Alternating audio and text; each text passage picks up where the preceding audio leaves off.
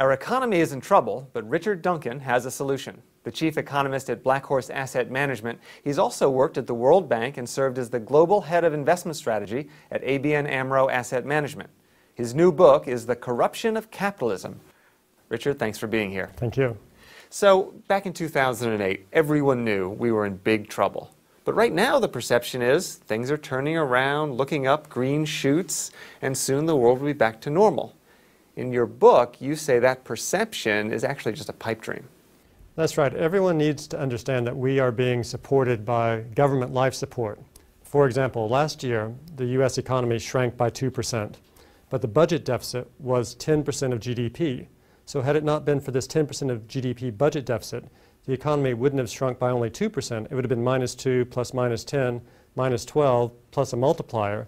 The economy would have contracted by 15%. Unemployment would have gone above 20%. It would have been a complete replay of the Great Depression. And this year is the same. This year we're looking at an 11% of GDP budget deficit. So we're on government life support. And it's going to remain like this for a number of years because the private sector is broken. So what you're saying is hundreds of billions of dollars are flowing from the government into the economy, and if it were not for that, the economy would be in deep trouble. That's right. Uh, in fact, $1.6 trillion this year. Interestingly, here you clearly think deficits are a big problem. You despise them. And yet, in your book, you write, we can't live without it. Okay, I think there are three important lessons that U.S. policymakers should learn from Japan's experience, uh, their post-bubble experience. Their bubble popped in, in 1990, 20 years ago. The first lesson is when a giant bubble pops, it's necessary for the government to support the economy with massive budget deficits for far longer than anyone thinks. Even now, the Congressional Budget Office is projecting $10 trillion worth of budget deficits over the next 10 years. Okay, so point number two, though, is that these budget deficits are much easier to finance than people currently realize. Japan has 200% government debt to GDP, but the 10-year bond yield in Japan is only 1.4%, meaning that it's very cheap to finance that government debt. And the third and most important lesson that we need to learn from Japan's experience is not to waste all this money that's going to be spent building bridges to nowhere the way that they did, but to spend the money wisely to restructure the American economy to actually make it viable again. That's an interesting point. In your book, you, you talk about how that money should be spent, and you say the government should invest in three 21st century industries. Can you explain that? Right. So this money is going to be spent one way or the other. It's just a matter of whether it's wasted, frittered away, and stolen by special interest groups, or if we actually spend it wisely, restructuring the economy.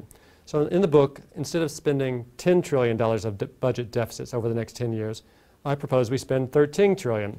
An extra 3 trillion, the government should pump a trillion dollars into solar energy, a trillion dollars into genetic engineering and biotechnology, and a trillion dollars into nanotechnology.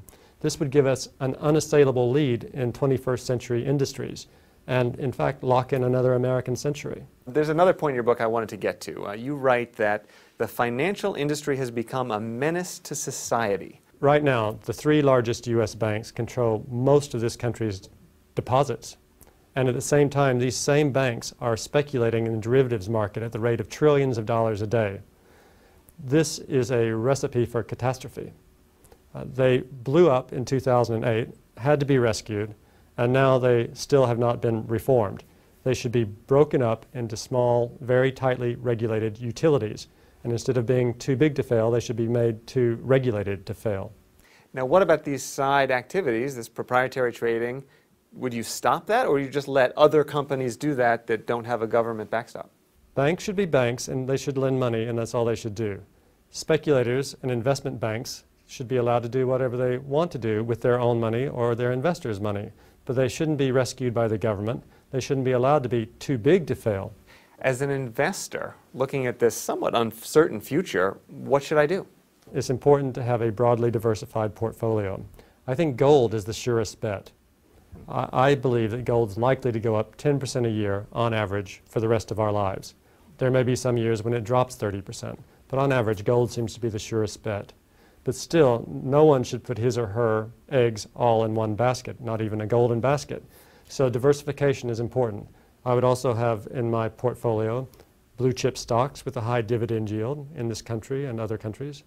Also government bonds, U.S. government bonds and German government bonds. Next, I would recommend, in addition to, to gold, uh, buying a residential uh, building to rent out. And finally, I would recommend debt, fixed interest rate debt to finance your residential building. And that way you'd be very broadly diversified. And the, way it's, the reason it's important to be so diversified is because we are on government life support. No one can be certain what the government's going to do.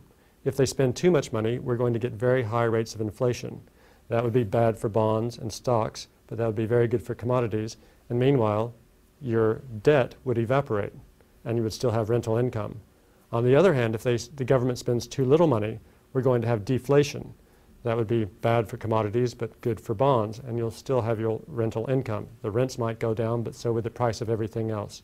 So because we can't be sure what the government's going to do, and because the government is driving this economy now, uh, diversification is the only way to have proper insurance. Very interesting. Thank you, Richard Duncan. Thank you, my pleasure. And thank you for watching.